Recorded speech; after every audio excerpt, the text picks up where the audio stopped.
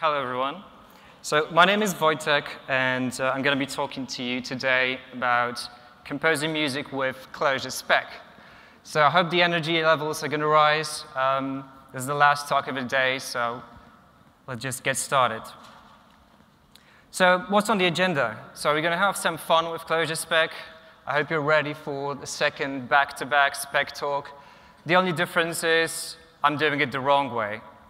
Um, I'm going to generate some tunes, um, and finally I'm going to reflect on uh, generative music. All right, so what's not on the agenda? How to use Clojure Spec in production. I know some of you are already doing this, even though it's alpha. Um, I'm probably not going to show you too many best practices. There's going to be code examples, but um, I think this is more of a musical talk, and there's already great resources elsewhere uh, and great talks. So who am I? This is a computer's rendition of me. Um, I think it's a pretty poor rendition, but I do like the um, chalice effect on the neck. I think, it, um, I think that's an interesting uh, little bit. So I've been composing and performing um, electronic music since about 2007 under the moniker NI. Um, I've also done some procedural 3D stuff. Uh, it used to be called the demo scene, but now not a lot of people recognize the term anymore. Um, but I also um, am a software, test, software tester by trade. So I get paid to break stuff. And one of the ways in which we break stuff is generative testing and finding ways in which we can uh, use the software in perhaps a different way than it was originally intended just to see where the edges are, where the boundaries are. So in general, I'm more interested in the chaos side of uh, software development. Um, and I'm also sort of on a vision quest of sorts uh, when it regards to generative art. Okay, so you might be wondering, you know, how does Clojure Spec apply to generating music? So let me state a hypothesis. If the primary paradigm of computing music is that music is data, then we should be able to use whatever tools are at our disposal to describe data, generate data, and manipulate data um, to produce music. We're going to see if this actually turns out to be true. So I will be using, of, course, Clojure Spec. Um, I'm also going to be using Chris Ford's library Leipzig, that's going to be, I'm using the German pronunciation here. Um, you're probably going to be familiar with, with this if you've seen any of Chris Ford's talk, talks. And I know there's a lot of Chris Ford fanboys here, so I'm sure one of them. And finally, I'm going to be using Overtone for the actual um, audio and playback. Now, I did manage to only get um, Overtone to work with the Alpha 8 of Clojure 190 but I think this should be quite enough to demonstrate what spec is, what's happening in spec right now. Um, so all of this should be pretty standard for Clojure music, um, nothing too crazy. And as you can probably imagine, um, I did not build a universal music-making machine with spec.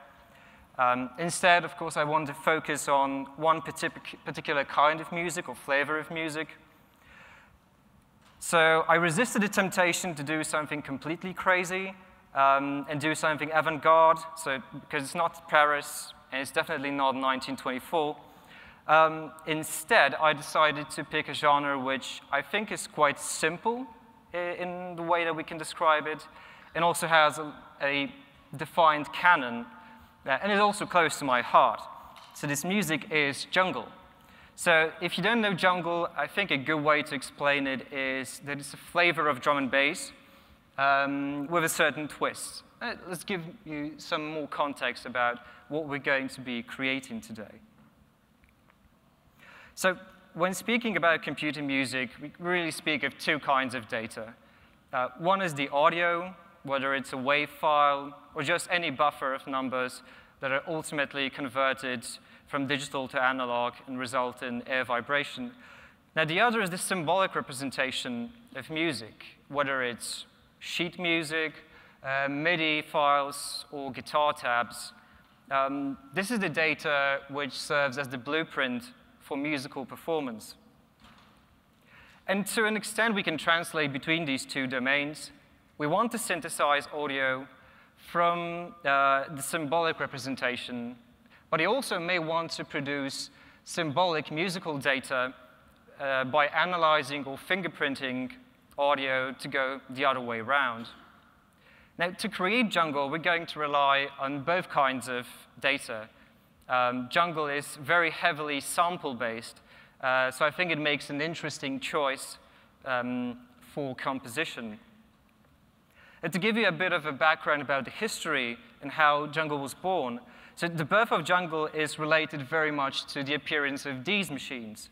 Um, like drum and bass and hip hop, it's very much linked to the emergence of hardware samplers, hardware digital samplers.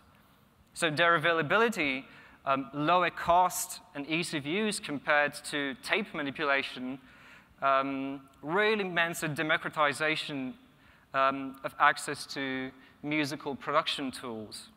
And so suddenly, uh, in the 90s or late 80s, you, you had a lot of people sampling vinyl records, anything they could really get their hands on.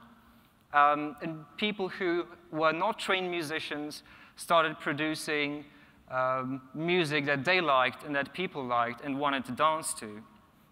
Um, and if you ever haven't worked with a sampler like this, uh, what it allows is you can pick, record musical data, um, store it in a bank somewhere, uh, and then you can manipulate it by looping, uh, slicing, doing pitch shifting, time stretching, reversing, those kinds of operations. Um, and musician will often have uh, several of these um, when performing or working in the studio. All right, so what is the bare minimum that I think constitutes a classical jungle track? There hasn't been any audio here yet, but we're going to get to that soon. I know you're waiting for it. So at the very bare minimum, we're going to have sampled drums, some bass lines, and vocal samples. And this is just some constraints that I, um, that I added for the purpose of this presentation. There's many flavors of jungle music, and you can add whatever you like in terms of the sonic landscape that you're actually plundering and, and slicing. Um, so let's start with the drums, because this is really the core of the jungle sound. So the drums are usually taken from breakbeats. So obviously there's a definition. Uh, a breakbeat is a sample of a syncopated drum beat, usually represented to form, repeated to form a rhythm used as a basis for dance music, hip hop, etc. And the breakbeat is literally a break in the middle of a song when the pitched instruments um, stop playing and the drummer plays solo. These most often come from uh, funk, soul, or gospel records, 60s, 70s.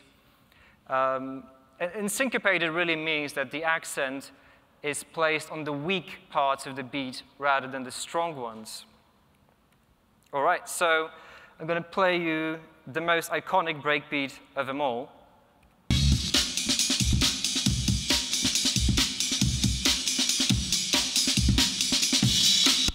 So even if you're not into jungle, you've probably heard it a hundred times from, in everything from NWA straight out of Compton to TV commercials for cars or, or the original Futurama theme song. And it's called the Amen Break, and it even has its own Chardonnay now. That's how big of a deal it is. Um, notice that the pattern on the top is a transcription of this drum pattern um, separated um, uh, to the crash cymbal, the ride, um, snare, and bass drum.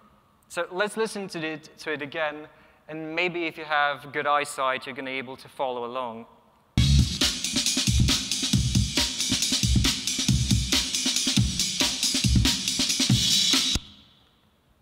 So this is a solo from a track um, called The Amen, Brother from 1969 track by a band called The Winstons. And it happens to be one of the most sampled um, songs in the history of music. There's literally tens of thousands of different renditions of this sequence, which only lasted a couple of seconds.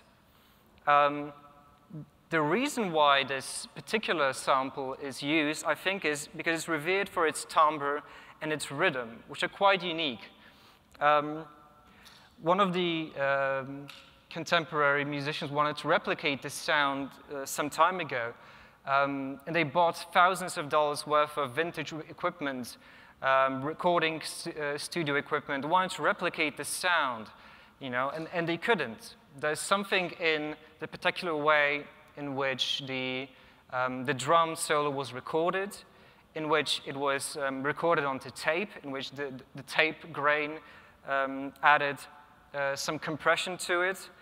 It's just very unique. And also the rhythm, if you listen to the sort of ride, it's very stable, and yet the rest of the rhythm um, is, is somewhat unstable, right? It's syncopated. It accentuates the weak parts of the beat.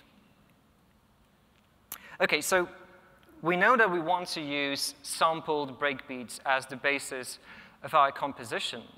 So how do we represent them symbolically? And I think the easiest way is to um, ask the musicians themselves. And maybe it's a bit of a cheat because I consider myself part of that musical scene. Um, but I've also um, co collaborated with other musicians and found a very curious property. Now, this is somewhat localized information, but I think you're going to find this amusing. So if you looked at the wine bottle um, label that I showed you before, it had the uh, drum percussion instruments separated out, right? You had the, the, the kick, snare, ride, and crash on different lines. But this is not really what you're working with. This is not the material uh, how the material really looks like. Uh, because the sample is really just a single layer with all of those instruments layered out. Now, you could use digital signal processing to separate out just the kick, or just the cymbal, or just the snare.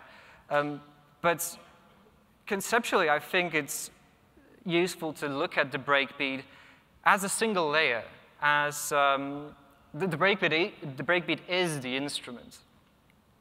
So I wanted to create a notation which um, felt natural for me to use. Um, and that's what notations should be, right? They should be uh, intuitive. They should allow for easy communication. So when I'm thinking about a jungle beat in my head, I'm going, doing something like puchta, puchta, puchta, puchta.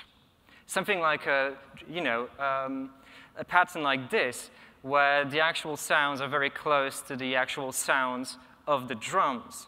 And since my first language is Polish, um, I think it's um, fair to say that we can call the Polish jungle notation. Uh, there is no resemblance to that of Łukasiewicz, but um, you know, you get the, get the joke. So um, at the very simplest, we could think of as a set of single-syllable onomatopoeic sounds which correspond to the dominant percussion sound happening at a specific time. Um, but this information isn't really enough to get us going, um, as in most genres of electronic music, but not limited to electronic music, uh, the repetition is key. So what we really need to do is to define some rules as to, you know, what these signs, uh, what these sounds are, and how we can repeat them. So here's a contrived example of um, how we can define simple rules for how many times a specific sound can be repeated in a row. Um, and we just build a collection that we can um, use out of that. Um, there's an additional sort of semantic element um, where we can name uh, the, the, the, syllables, the outcomes, by the specific drum uh, elements like the kick or ride semi-snare combination.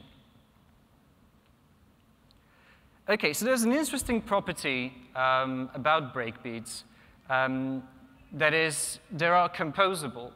So if you take different renditions of the Amen break and other breakbeats in general, we can sort of mix and match parts of them, rearrange them, place them in, in some order, and use interchangeably um, to create our composition. So to do this, what we really need to do, as is the case with all sampled music, is that we need to prepare. And what we need to prepare is a sample bank which has some characteristics. So these are the characteristics I picked for this particular composition. So the drum loops are equal in length, they're in the same tempo, and the volume is normalized. So if we want to just um, have some interchangeable um, elements, then it's good that they are prepared and normalized ahead of, the, ahead of time.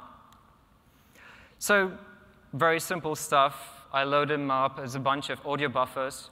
I have a simple function which only does one thing. It uh, plays back a specific slice um, given a start time and an end time, the buffer. Um, and then I'm just going to pick some free renditions of Amen Break to begin with that we'll start working with. And here's what they sound like. First one.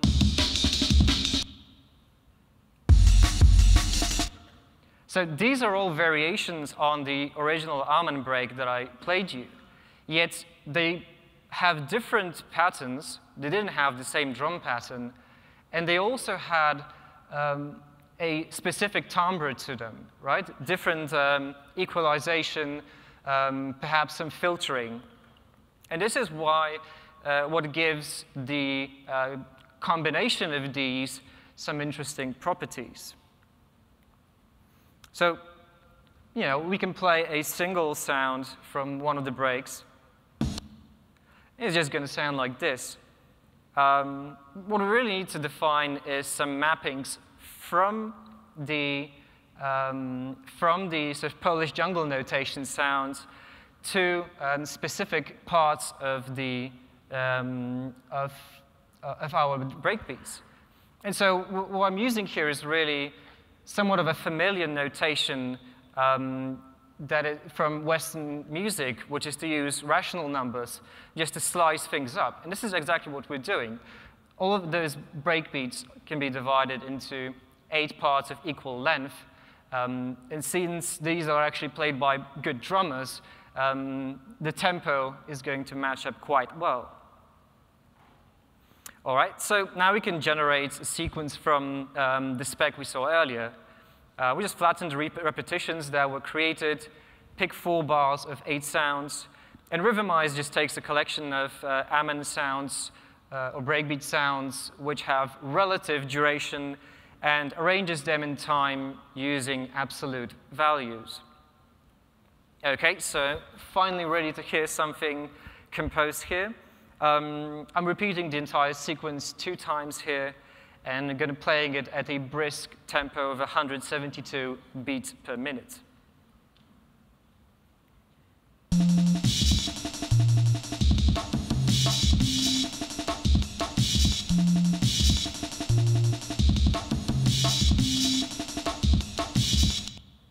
So that's kind of musical. And when I got to this point, I was kind of happy. Um, I knew that, you know, if you take this and compare it to like a very early 90s jungle track, it's actually pretty similar um, to an extent. So now I'm, you know, uh, I already got to some point in musical history. And you have to remember that, you know, when speaking about the early 90s and jungle musicians and sample music, um, you have to understand that the, the, the, way they use samplers were very simple. And all of those very elaborate techniques for slicing, uh, manipulating breakbeats, those evolved over the course of the 90s, um, somewhat accumulating in uh, late 90s, early 2000s with um, uh, IDM, uh, artists like uh, Venetian Snares or Squarepusher or Aphex Twin, who really took the manipulation of breakbeats and specifically the Amen break to a new level, um, in running, playing at very high speeds um, to the point where the, um, the original sound is almost uh, unintelligible. Some of that information is, is lost. Uh, one of those techniques which are very interesting is that if you take especially the snare drum, um, you can, uh, musicians have been treating it as a pitched instrument. So playing it as if it were a pitched instrument, and you could um, manipulate it on the scale and, uh, and change things. All right, so as I mentioned earlier, we can mix and match different breakbeat sounds. Um, in this case, I'm doing this at runtime. So, um, you know, when you're speaking about some chance techniques in music, this is, this is uh, chance techniques 101, right? We have um, a, uh, a, collection of equivalent um, techniques, in this case, sounds that we want to play, uh, and we just pick one at random and see what happens.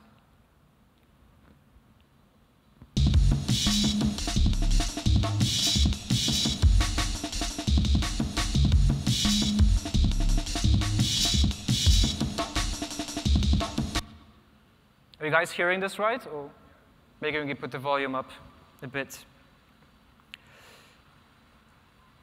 All right, so the next section is effects. And this is something that I haven't really implemented yet, but I do have a good idea of how this model could look like. So if you ever saw musical software uh, called trackers, so a tracker is a classical piece of computer, um, computer software where we have um, a sequence of, um, of events in time where we can have something happen. And this can be playback of a sample um, or triggering of a specific instrument. Um, and for each of those notes, we can define a bank of effects that can happen at this time. So we can say that at time zero, we have just regular playback, but the next time we, hit, we add some effects, you know, whether it's pitch shifting, you know, to play the snare as a pitched instrument. It's adding, um, adding uh, filters or reverb or other effects, um, or maybe reversing the audio.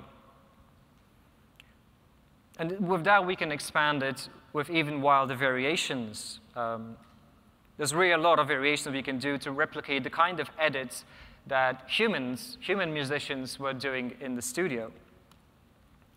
Okay, so I've set up the scene for slicing breakbeats. Um, let's briefly talk about the bass pattern. And it's pretty simple. Um, I mean, I didn't want to complicate the bass too much. Um, so um, the sequences are rather rudimentary. Um, the bass in Jungle plays a rather simple role. Uh, simple in the sense of um, the, uh, the melody it plays, but very important because of the sound it has. And uh, in most, uh, especially the early jungle, um, this is just a simple sine oscillator that generates a um, thumping bass sound, something like this. So you get the idea, right? Um, it doesn't sound like much by itself, but when you uh, overlay the breakbeat over it, it starts to add up. Now, uh, bass is obviously a pitched instrument, um, meaning that the height of the sound varies to create a melody. Um, and spe when speaking about melodies in the West, we think of them as sequences of notes, where a note is a single tone of definite pitch made by a musical instrument or the human voice. Now, we could just you know, represent pitch in the usual fashion um, in computer music, we, use, we tend to use MIDI, which is, just uses integers um, in a certain range. Here we're operating on two octaves. Um, and the duration is represented again by the familiar uh, rational numbers, rational numbers used in sheet music. Uh, playing pitch as random integers is sort of like having, having a monkey sit at a piano. They may get it right eventually, but we might actually get annoyed with our primate companions first. So instead, um, we can compose Leipzig scale functions to transform our random integers into random integers which happen to fit on a scale of our choosing. Um, so let's listen to, to, to just such an example.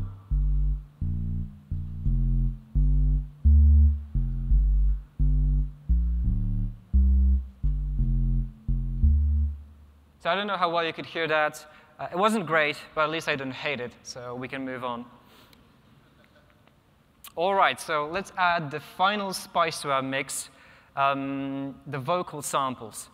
And, and, specifically in jungle music, um, we're going to be using ragga samples.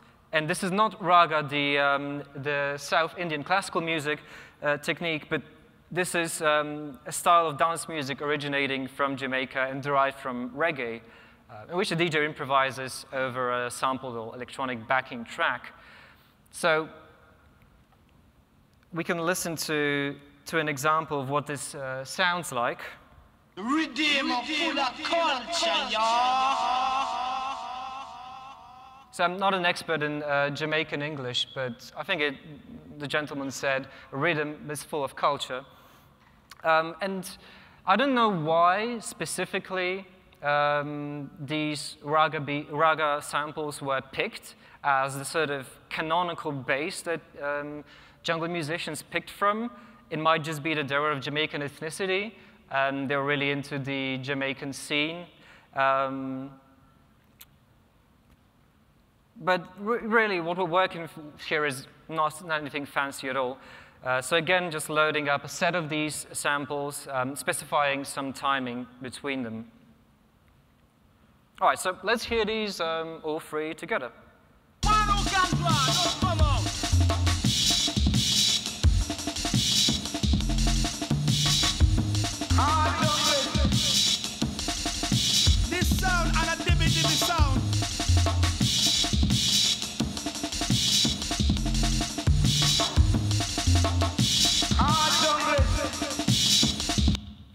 So, so this particular combination would probably be described as ragga jungle, right? Makes sense. Um, all right, so we know how to build a short sequence that is somewhat satisfactory. So what is stopping us from building up an entire song from this? So um, let's just specify some sort of arrangement that we're going to follow um, using the rather familiar, at least in, in drum and bass, um, pattern of intro, verse, breakdown, um, reprise, and outro. Um, and this can broadly really mean two things. Um, either there's a verse, meaning that we play all of our instruments, and this is a real um, interesting bit, or there's some sort of place where the beat maybe doesn't play, and that's the intro, breakdown, and outro. Uh, and you know, we specify the keys that should be present in uh, the particular um, part of the song. And we can really even you know, generate some funny artist names, um, song titles, and album names.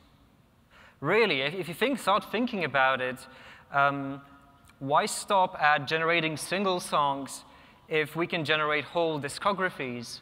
Um, just to show you the sort of telescoping nature of musical composition coming from single notes, and if you think about granular synthesis, which, which would slice up a sample into thousands of elements, even uh, below that, all the way through to entire collections of artists, um, you know, there's sort of uh, an interesting uh, zooming effect that, that you get.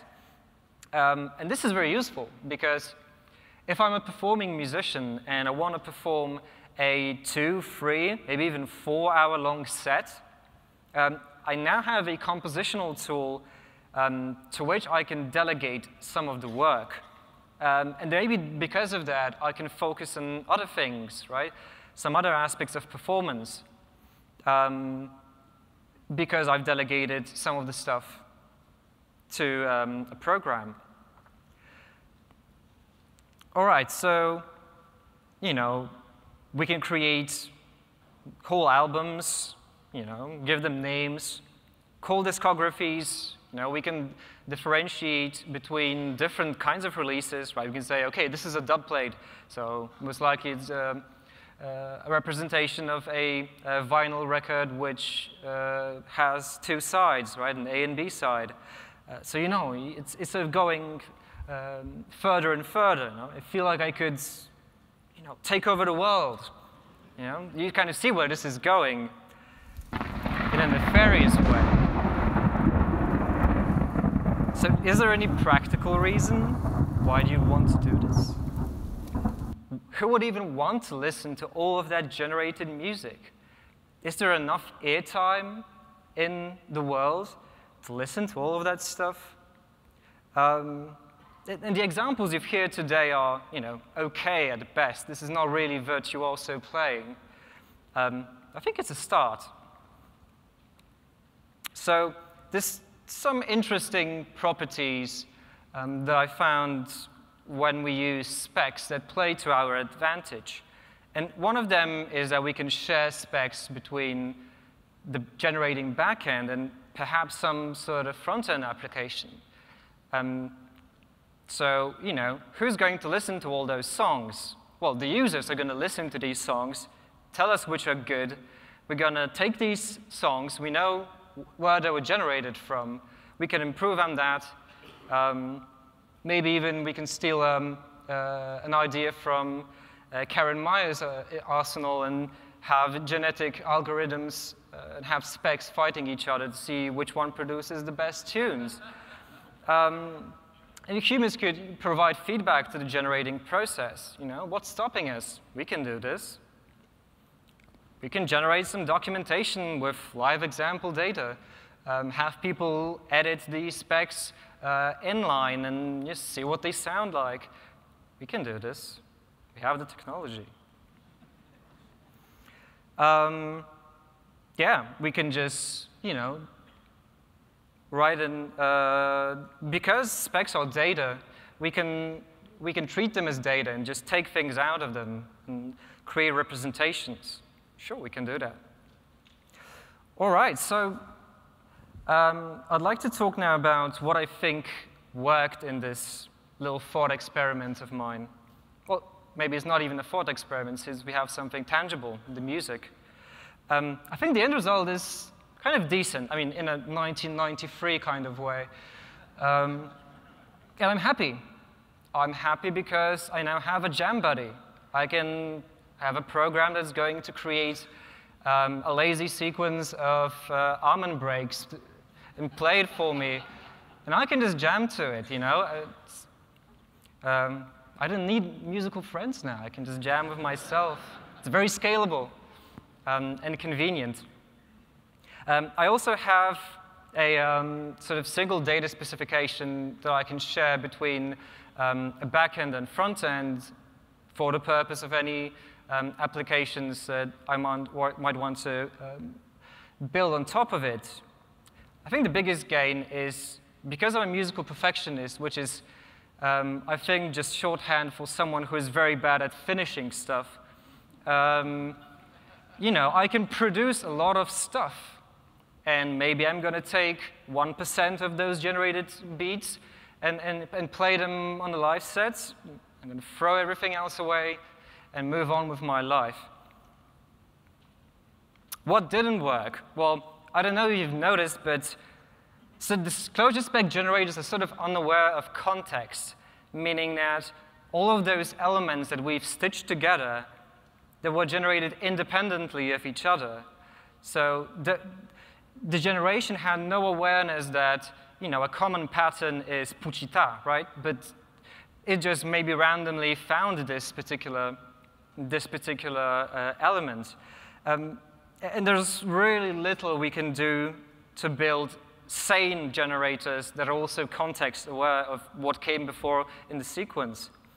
Um, in addition to that, I try to um, create, generate parameters for Overtone synths just to see you know, where we could be go going with this.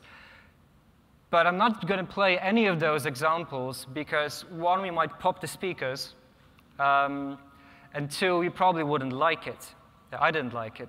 And, and I think the, the, reason for it is that, again, um, the generations are independent um, in the sense that if we adjust the resonance of a filter, which has consequences for the overall volume, but also we uh, gener generate some sort of volume level, you know, if those twos come up as very high, then this is going to be something that we're going to need to normalize. And we didn't really, really go on to go into that too much. So I'm not going to show you any of it. All right, so remember this slide? Um, and I'm going to start a rant now, so beware. So I don't think this is right. Um, I don't think that we can think of computer music as just data. Um, and there's a very specific reason. Um, and that's because this ignores a very important element that is human cognition. Uh, there is a lot of things which get lost if we just look at the data and try to combine them together. Um, I mean, there's a reason why I decided not to generate rap music, because if I offend someone, am I liable? You know? Um, and in this sense, there's a whole area of human perception, acoustics, mood, context, of which most of generative, generative music is not aware.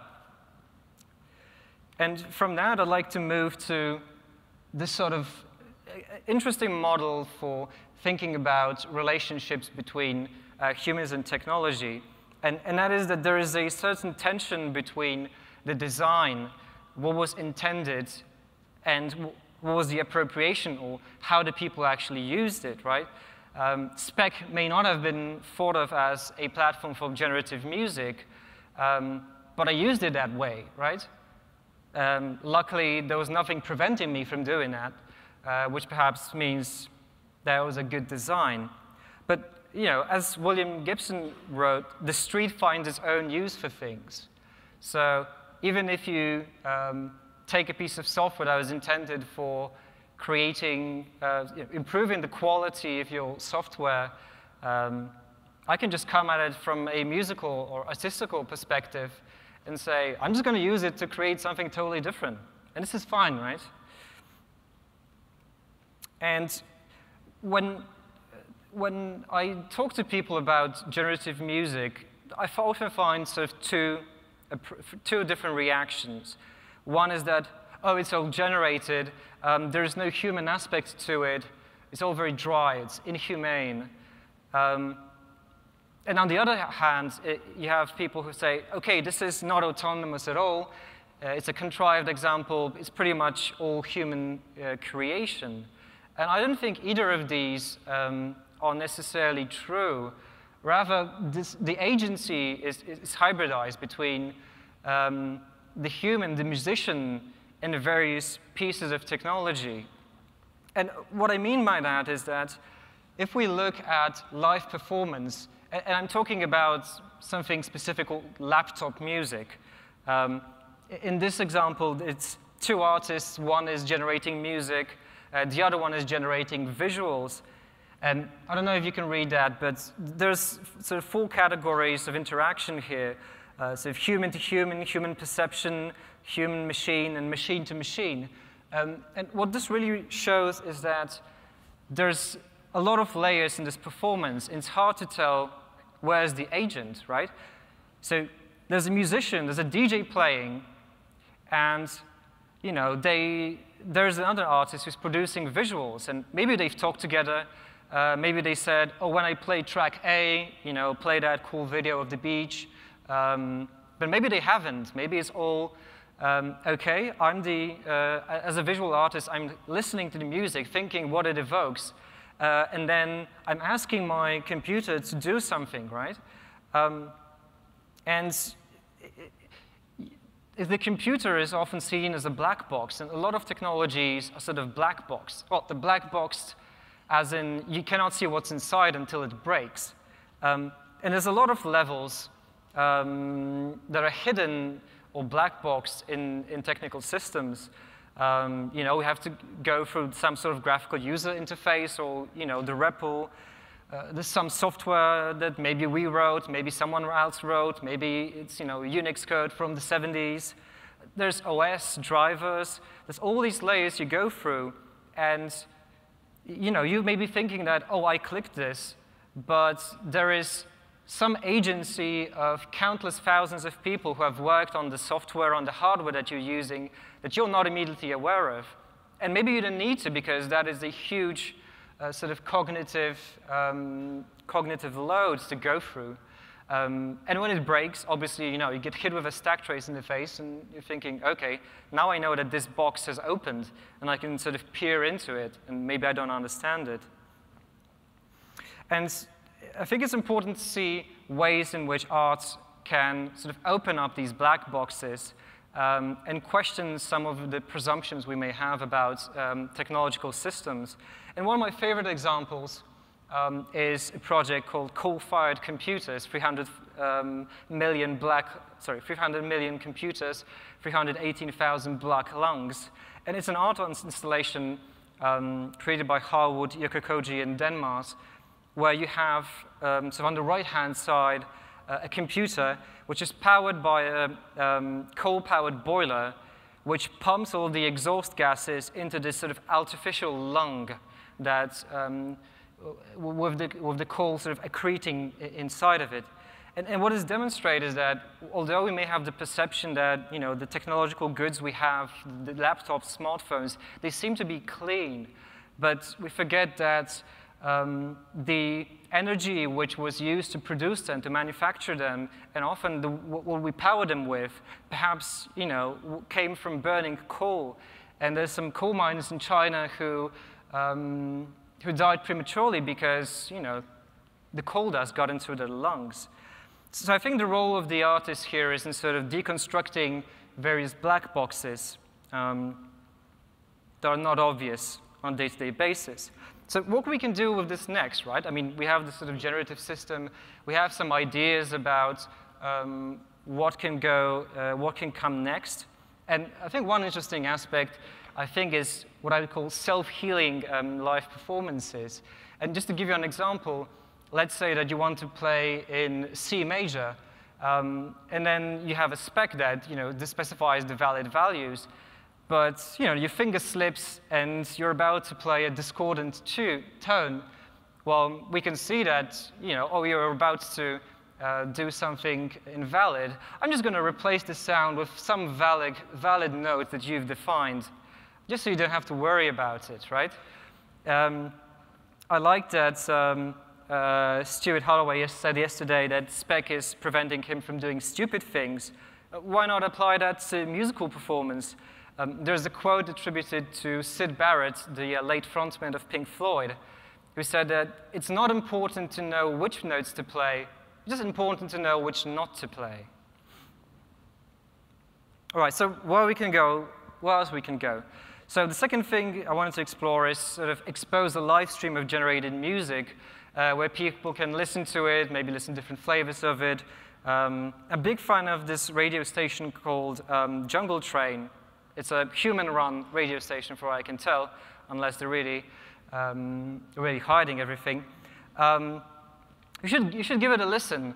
Um, most of the time, it sounds much better than what I played. Sometimes I think my stuff is actually better. Um, but that's just because there's tens of thousands of jungle songs and, you know, it's just fatigue. All right, and the final thing I want to explore is the cognitive aspect. Um, I'm going to be wrapping up here, but I'm just going to mention what I mean by this. So trying to think about how, um, as software developers and musicians, we can um, incorporate more knowledge of human cognition and, and how hearing works and our um, perception of music um, into our daily practices. Um, some couple of resources that I think are really good if you want to get into this, this topic. Um, there was supposed to be a GitHub link here, but uh, I've been gradually just messing this code up more and more before the presentation, so um, I guess you can just follow me on Twitter, and uh, I should have this code up running uh, in case you want to play with it. And I would invite you to, um, to maybe take your favorite kind of music and try to make a model. Maybe you can generate something interesting. Um, that's it. All right, so um, there's one final thing. Uh, I just wanted to play you out with a little tune. Uh, one second. I know this is showing right.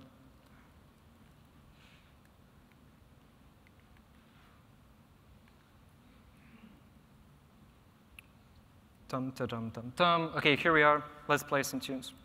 One who can draw, just come out. This is pretty verbose, but that's just so you can uh, tell what's going on sequentially.